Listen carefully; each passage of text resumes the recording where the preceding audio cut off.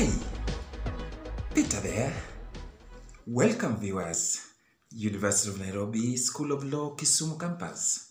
Social Foundations and Perspective of Law.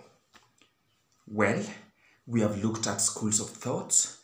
We have looked at different great theories that underpin law as we know it today. Well, Today's topic is about how law engages science and technology. But we have, first of all, to submit that the society is changing and is dynamic.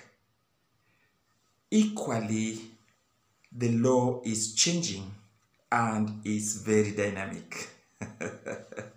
The law is changing in the sense that it is the prerogative of any government in the world to make and unmake the law. Well, the making and unmaking the law process is what we refer to as legislative process. And new laws are enacted through bills of parliament and the assent of the executive, whereas the judiciary interprets and enforces the law.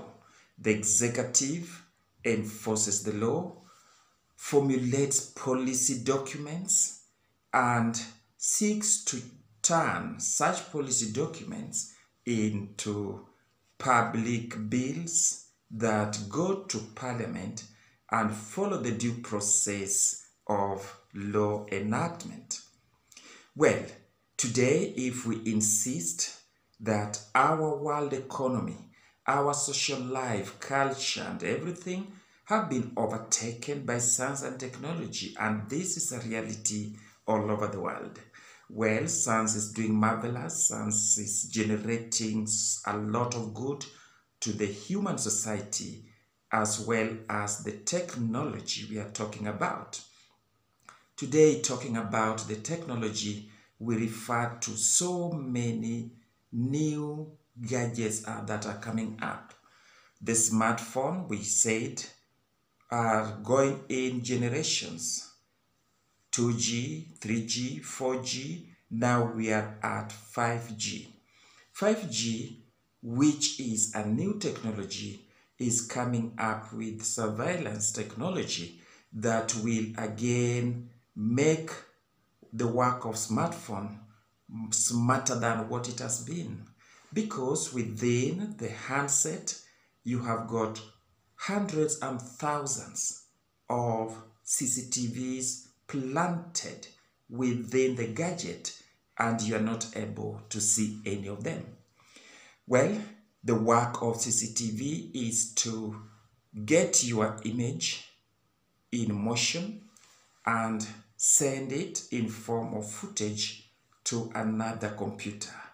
And in that case, somebody is able to monitor what you are doing, but as well is able to service you accordingly.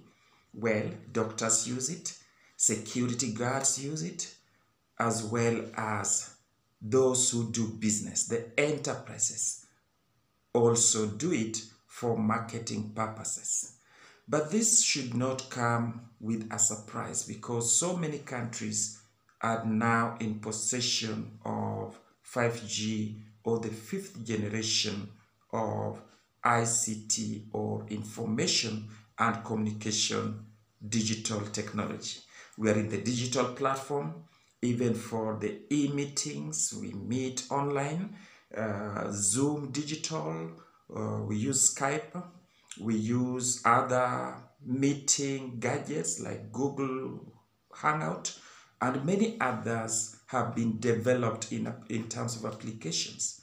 What is still not well thought out is how that information is going to be used and what it is going to be used for. This is the question of the big data, the question of Silicon Valley. But all the same, let's look at the law. Where does the law come in? The law comes in when rights and interests are violated. Well, copyrights, uh, intellectual property, uh, patent rights, and all these rights are owned by the companies that produce such technology. Well, the global south is known for utilization of the technology that it does not own. Global north owns the technology but avails it to the global south.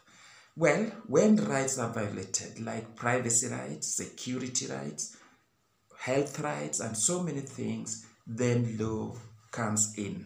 My allegory of the triangle is still valid in the sense that at the basis we place science and technology. At the apex, we put the law because the law must inform science and technology as well as regulating the entire process in the free market theory, laissez faire tradition that has changed our globe in a way that uh, everybody admires. But all the same, we need to take precautions. And I admit that law is the only social control system par excellence that should regulate our social ecosystem. Thank you, Peter here. Thank you for watching University of Nairobi School of Law, Kisumu campus. I expect to meet you again. Share with us your thoughts, your, your um, perspective, so that we get into common platform while discussing matters that we consider under social foundations and perspective of law. Thanks so much and have a good day.